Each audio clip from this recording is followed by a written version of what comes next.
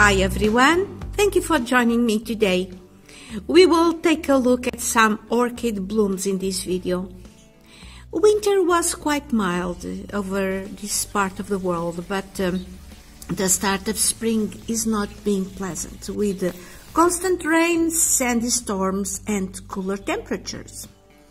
It is quite interesting to notice that for the orchids wintering indoors, I'm using my Spider Farm grow lights a lot longer than uh, throughout the, the shorter days of winter.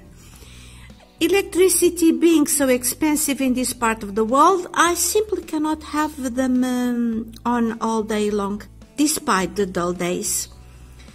So I can notice that uh, new growths and roots are not uh, developing as fast as they should.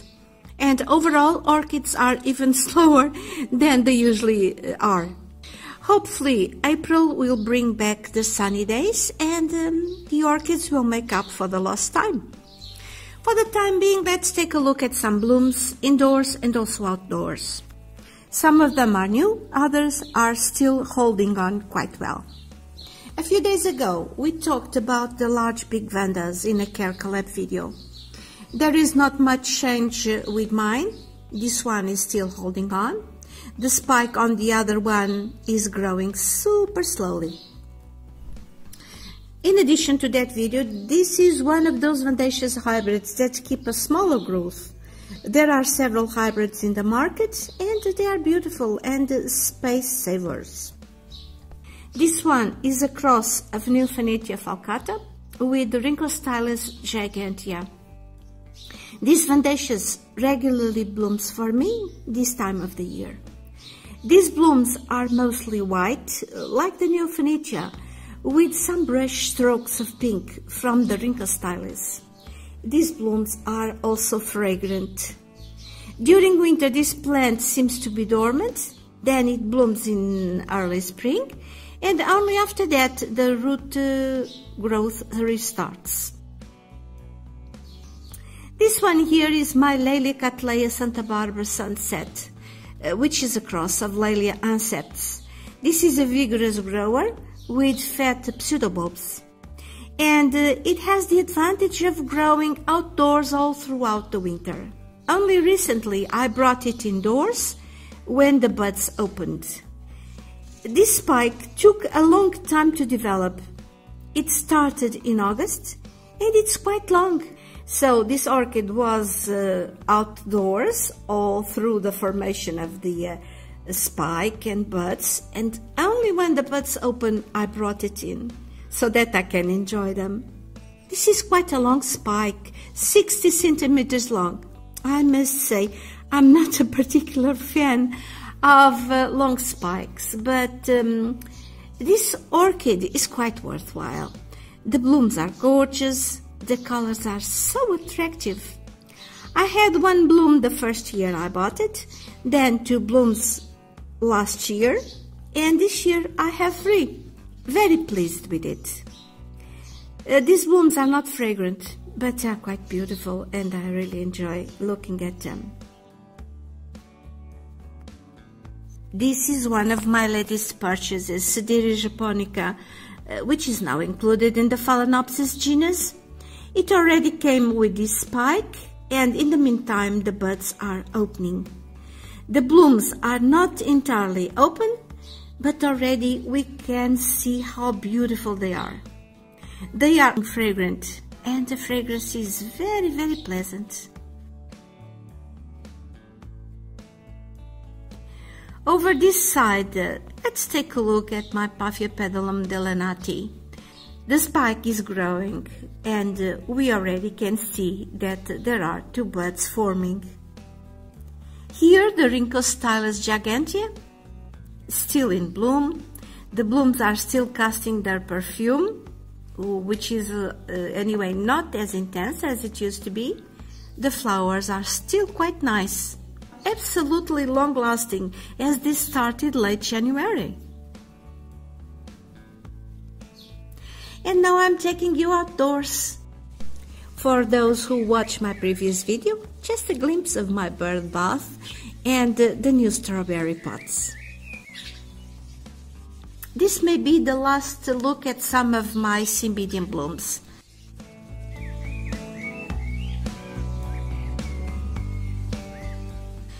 Uh, this one did great. Look how many spikes it has. Most uh, flowers are getting spent, but still quite beautiful.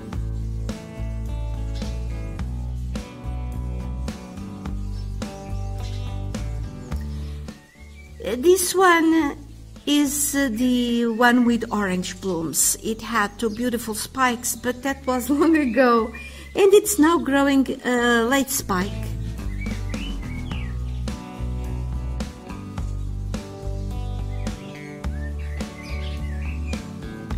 Haven't seen this one yet this, this year. The blooms opened just recently. Uh, three spikes. They are different from my other cymbidium. This plant uh, came last year and um, it has semi-pendant spikes.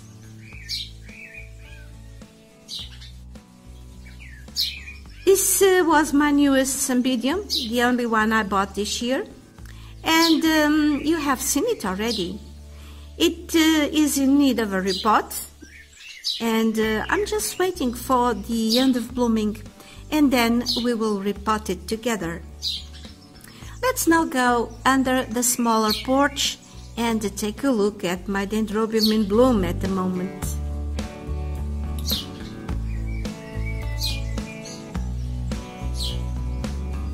Oda here is still at it and smelling amazingly. And um, the fact is that the uh, scent is getting stronger as the uh, flowers mature.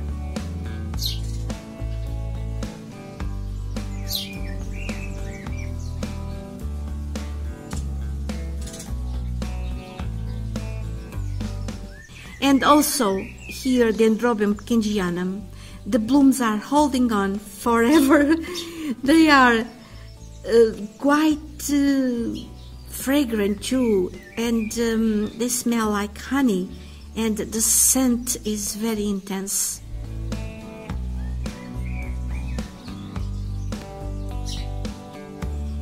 You had already seen both of them, but this one here you hadn't seen yet. Uh, this is a species Dendrobium nobile, the variety Cooksonianum. It is blooming for the first time for me. I have it for one year. I bought it uh, March of 2021. I'm very pleased with it. I never thought it would bloom so well. As they say, species Dendrobium nobile are so very difficult to bloom. The flowers are gorgeous and they are fragrant too.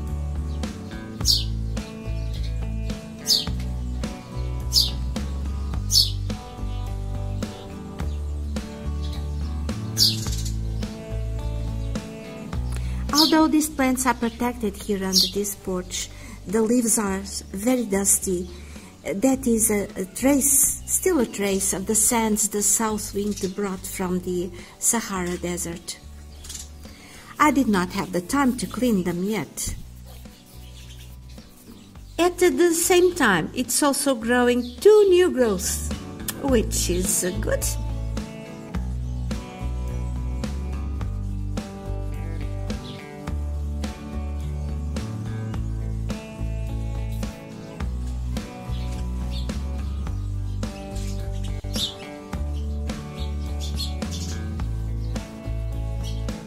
All in all, I'm quite happy with all my nobili, including the hybrids.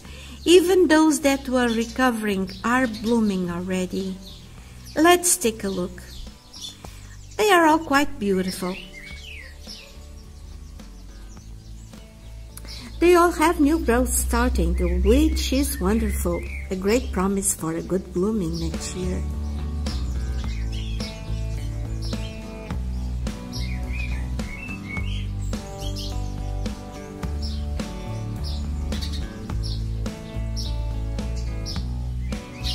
Already have plenty of nobili hybrids. But uh, I would love to have a salmon or orange one. And um, maybe I will have to wait. they are not easy to come by.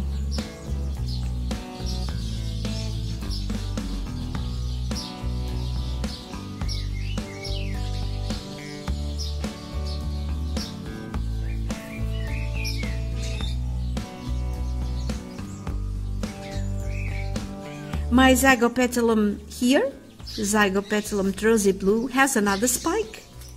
Soon we will have new blooms. I was quite surprised to see this new spike because this plant already bloomed uh, this year, recently in January.